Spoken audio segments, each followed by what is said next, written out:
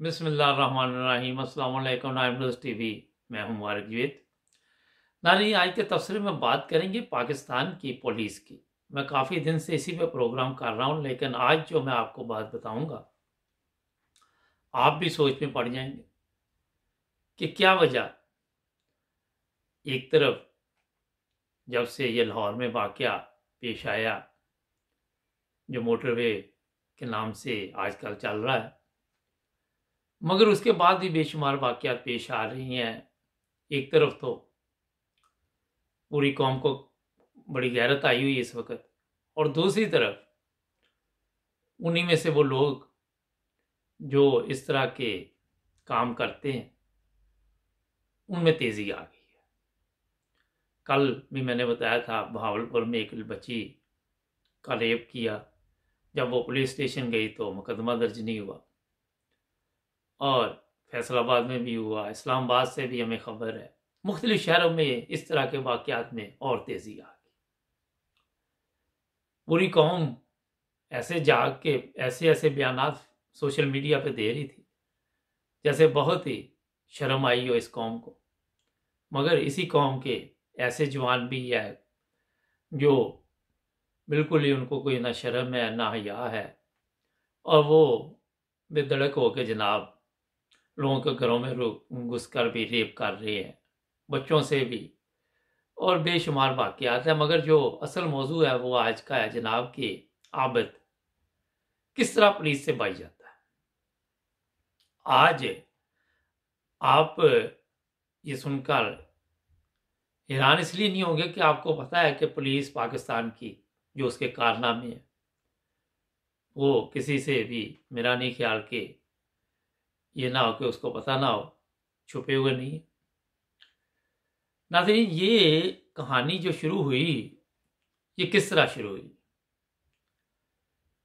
अब मुख्तलिफ़ लोगों ने तबसरे किए, बताया, मगर मैं आपको बिल्कुल ठीक बता रहा हूँ कि ये जो लोकल पुलिस थी, वो इसमें मुलबस है। और आईजी साहब को वज़ी अजम को वज़ी अला को पता चल चुका है कि ये पुलिस के बगैर काम नहीं हुआ। मगर क्योंकि वो लोग भी डरते हैं कि कल को हमारी जब गवर्नमेंट चली जाएगी तो यही पुलिस वाले फिर हमारे साथ क्या सलूक करेंगे? जिस तरह आजकल आपने देखा कि नून लीग के साथ हो रहा है, या जरदारी के साथ हो रहा है मैंने कई प्रोग्रामों में बताया कि सियासतदान इन लोगों के पीछे होते हैं। अब ये थोड़ा सा हम पीछे चलेंगे कि जो इंक्वायरी का पता चला कि ये लोकल जो पुलिस थी, इन्होंने उन डाकुओं को, उन चोरों को, वो जिन्होंने ये कार्रवाई की, इतला दी बकायदा तौर पे।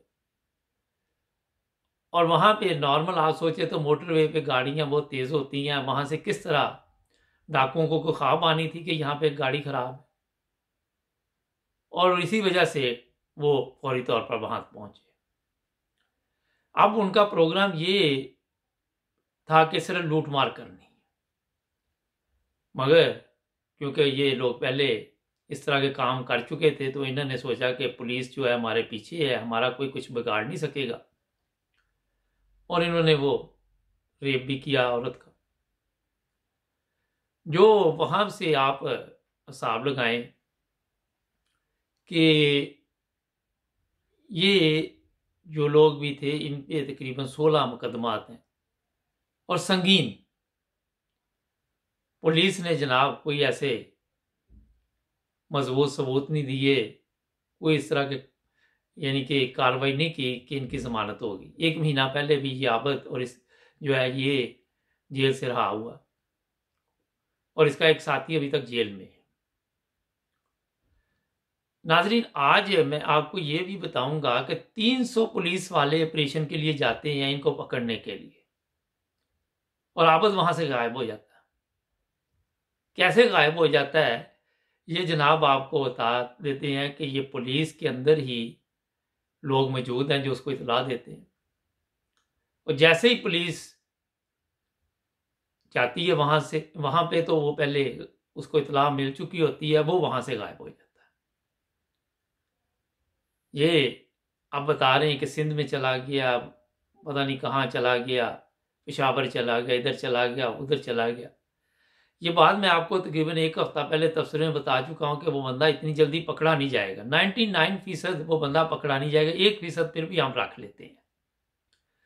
उसकी वजह ये है कि उसके पीछे जनाब अली एक सियासी बंदा नहीं, काफ़ी बंदे उसके पीछे और बड़े बड़े सियासतदान भी हैं उसमें। अब उसके पकड़े जाने से उनके भी नाम आएँगे। और पुलिस के भी। और ये जो भी लूट मार होती थी, वो पुलिस वालों का हिस्सा उनके पास पहुँचता था। वहाँ से सिर्फ़ एक एसएचओ को गिरफ़्तार करना और बताना कि हम उससे पूछगिछ करेंगे, वो पूरे लोग ही इसमें मुलवस हैं उस एरिए के, वो क्रिमिनल हैं सब। वहाँ पे इतने इतने बड़े क्राइम होते हैं उस एरिए में कि आज तक पुलिस को खबर नहीं थी। ये लोग उस बंदे को पकड़ना ही नहीं चाहते। किस तरह आप सोच सकते हैं कि इतने बड़े ऑपरेशन हो रहे हैं, कभी कहीं कभी कहीं, और वो बंदा इनसे पकड़ा नहीं जा रहा? कभी उसकी बीवी को पकड़ लेते हैं, कभी उसकी साली को पकड़ लेते हैं, कभी उसके किसी रिश्तेदार को पकड़ लेते हैं। वो नहीं पकड़ा जा रहा। इमरान खान साहब, जब आपने हुकूमत संभाली तो आपने कहा कि हम यहाँ पे साफ़ सुथरे पुलिस वाले लेके आएँगे, हम यहाँ पे पुलिस का निज़ाम बदल देंगे। दो साल में आपको ये पता नहीं कि लाहौर के इस एरिए में क्रिमिनल पुलिस वाले बैठे हुए हैं। ये आपकी कारकर्दगी है। अब जो लोग पीटीआई के हैं, वो तो गलत को गलत भी कहते हैं, जिस तरह नून लीग वाले भी इसी तरह ही है। मगर हकीकत जब बात करते हैं तो ये फिर नाराज़ हो जाते हैं। कहते जी, इमरान खान इतनी जल्दी क्या कर ले? तीस साल का गंद है, कैसे साफ़ करे? और जनाब, जिन्होंने काम करना होता, वो कर लेते हैं। वो आके सिर्फ़ बातें नहीं बता के चले जाते लोगों को। अगर आपको ये पुलिस ठीक करनी होती आप क्या क्या ख्याल है कि ये पुलिस आप ठीक कर लेंगे? किस तरह करेंगे आप ये पुलिस ठीक चालीस साल से इन लोगों को गलत कामों की आदत पड़ी हुई है। जराइम में मुलवस होते हैं तशद में मुलवस होते हैं। आप किस तरह इनको ठीक कर सकते हैं? मुझे ये बताएँ। ये पुलिस आपसे ठीक नहीं होगी। आप जो मर्ज़ी कर ले इमरान खान साहब। आप देख ले, अभी एक हफ़्ता भी नहीं हुआ और दूसरा भावलपुर में वाकया पेश आया। वहाँ पे भी पुलिस ने कार्रवाई नहीं की, कोई रिपोर्ट दर्ज कराने आया तो उससे कहा कि आप सुलह कर लो। किस तरह? इन लोगों ने, मैंने पहले भी बात की थी कि अपने अपने एरिए में ये हुक्मरान वहाँ के ये बादशाह जनाब। ये जो चाहे वहाँ पे करवाते हैं। अब हमने मंडे को आपको एक प्रोग्राम दिखाना है। हम दिखाएँगे नाइन ब्रदर्स टीवी वाले भी कि ये प्राइवेट जगह बनी हुई है जहाँ पे जाके इतना तशद लोगों पे किया जाता है। और इसी तरह किसी भी जो भी जराइम पेशा अफराद है, उनको भी पनाह दी जाती है। किसी भी बंदे को ये उठा के ले आते हैं। वह ज़रा कमज़ोर हो, सही। ताकतवर के सामने भी ये तशद करते हैं, मैं आपको बताऊँ। इतने ये जालिम लोग हैं। इमरान खान साहब, आपको किसी ने आज तक ये मशवरा नहीं दिया। आप या तो बहुत बोले हैं, या आप करना नहीं चाहते। कि ये पुलिस ठीक नहीं होने वाली आपसे। आईजी ले आए, दो साल में आपने कितने आईजी बदल लिए? किस तरह आप, कुछ फ़र्क पे आपके वहाँ? दिन ब दिन जराइम बढ़ते जा रहे हैं। अब ये पुलिस वाले जो इतला उनको देते हैं, आपने इंक्वायरी की? किसने इतला दी? एक सोचने वाली बात है, तीन सौ लोगों के मोबाइल फ़ोन चेक करें ना जरा। कहाँ कहाँ कॉल की इन्होंने? सबके जरा पता करें। आपको पता चल जाएगा किसने इतला दी। जदीद दौर है जनाब इतना बड़ा काम नहीं है जितना बड़ा आप बना के बैठे हुए हैं। मैंने आपको बताया कि ये आप या तो उसको पुलिस के मुकाबले में मरवा देंगे, या गायब कर देंगे पर बंदा इतनी जल्दी मिलेगा नहीं। नाइन्टी नाइन फ़ीसद मैंने आपको बड़ा दावा कर दिया। आप जो मर्ज़ी कर ले। ये पुलिस ठीक करने के लिए आपको फौज की ज़रूरत है जनाब, पाक फौज की। जहाँ भी आपने देखा, पाकिस्तान में मुश्किल आई। हर वक्त पाक फौज ने कुर्बानियाँ दी। और पाक फौज ही है जो इसको ठीक कर सकती है, पुलिस को। वो इस तरह ठीक कर सकती है कि पाक फौज को इसके, इनके जो मिक्स करें इनके दरमियान, सबसे पहले। और जितने एस एच ओ है, यहाँ पे बड़े बड़े ऑफिसर हैं, वहाँ पाक फौज होनी चाहिए। आप इन लोगों से तो करते हैं कि ये आपको, जनाब कोई अच्छा रिज़ल्ट देंगे। एक केस पकड़ लेते हैं जब प्रेशर पड़ता है। और जहाँ पे इनको पता होता कि हमने खुद मुसीबत में पड़ जाना तो फिर ये वहाँ पे कार्रवाई भी इस तरह ही करते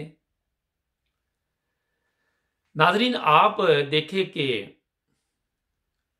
पुलिस तशद क्यों यहाँ तक पहुँचते हैं लोग?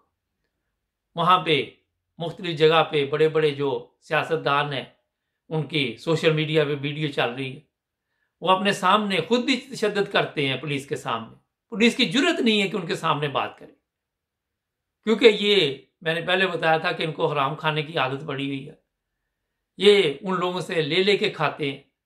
ये वो पुलिस वाले सियासतदानों के गुलाम है इन्होंने अवाम को गुलाम बनाया हुआ है।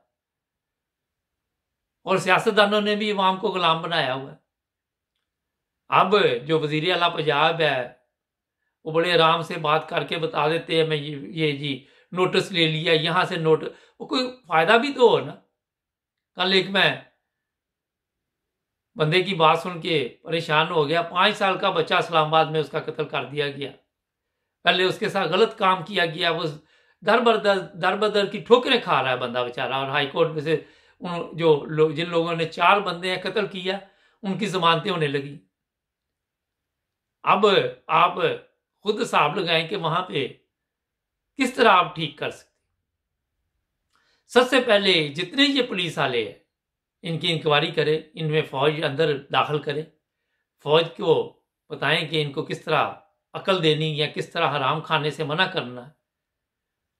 और फौजी अदालतों में उन पुलिस वालों के खिलाफ भी मुकदमात चलें, ताकि इनको भी पता चले।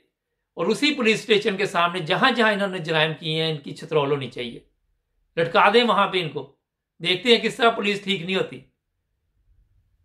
आप, बच्चों वाली बातें इमरान खान साहब और वज़ीर अल्लाह साहब कर रहे हैं। इन लोगों को आप ठीक करेंगे? कभी भी नहीं कर सकते। इन लोगों को जब तक आज सजा नहीं देंगे, पुलिस वालों को इनकी सफ़ाई नहीं करेंगे तलीम याफ्ता लड़के नहीं लेके आएँगे आगे। ये लोग ठीक होने वाले नहीं है। चालीस साल से ये लगे हुए हैं मुल्क को बर्बाद करने। चालीस साल से ये वाम पर तशद कर रहे हैं। जहाँ भी आप देख ले, हर जगह पे आपकी पुलिस मुलवस होती है जराए में। कोई जगह ऐसी नहीं जहाँ मुलवस ना हो, चाहे बच्चों के सामने वालदेन को कत्ल किया हो, चाहे कहाँ भी। आप अवाम को ये सबज भाग ना दिखाएँ, इमरान खान साहब। कवानीन बनाएँगे। कवानीन का क्या फ़ायदा जब आपकी पुलिस ही केस अच्छे तरीके से तैयार करके पेश नहीं करेगी? क्या करेंगे ऐसे कवानीन का? किस तरह आप लोगों को सजा देंगे। ये बड़ा मुश्किल काम है। पहले आपको नीचे से ये पुलिस वाले ऐसे लोगों को लाना चाहिए फौज में से, जो इनकी तरबियत करें। और इसमें एक चीज़ और आप बता, आपको मैं बताऊँ कि फौजी अदालतों में केस चले इनके। ये अदालतें आपके लिए कुछ नहीं कर सकेंगी। ये मैं आपको आज बता रहा हूँ।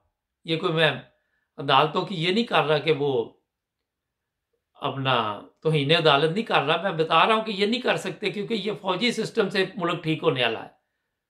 आप सिविल के ज़रिए इसको ठीक नहीं कर सकते, जो मर्ज़ी कर लें। क्योंकि ये कौम इतनी बिगड़ चुकी है कि ये जराइम पेशा अफराद भी इनमें शामिल है। अब कहते जी, वो लोकेशन भेजे, कहाँ पे आपकी गाड़ी है? वो भेजी, वो जा, पुलिस, लोकल पुलिस ने, वो उन लड़कों को दे दी और वो वहाँ पहुँच गए। आप खुद अंदाज़ा लगा ले। डेढ़ दो घंटे में पास पुलिस स्टेशन है तो वो नहीं पहुँच सके, क्योंकि उन्होंने जाना ही नहीं था उनकी मदद करने के लिए। ये बकायदा एक केस सामने आया, बेशुमार केस हैं जो सामने नहीं आ रहे आपके। और वो उस वक्त आएँगे जब आप अपने सिस्टम को ठीक करेंगे, जिस तरह मैंने बताया। लगे रहे, बीस साल बाद भी आपका यही रोना होगा कि हम, हमारी पुलिस ठीक नहीं है।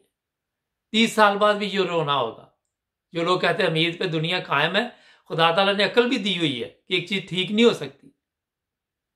उसको आप किस तरह कर सकते हैं? नादरी ये आज मैंने आपको बात बताई है, जो मुख्तसर ये है कि वो सफ़ाई बड़ी ज़रूरी है पुलिस की, और बुनियादी चीज़ ये है मुल्क के लिए इस वक्त, क्योंकि वहाँ से इंसाफ चलेगा अदालतों में बाद में आएगा।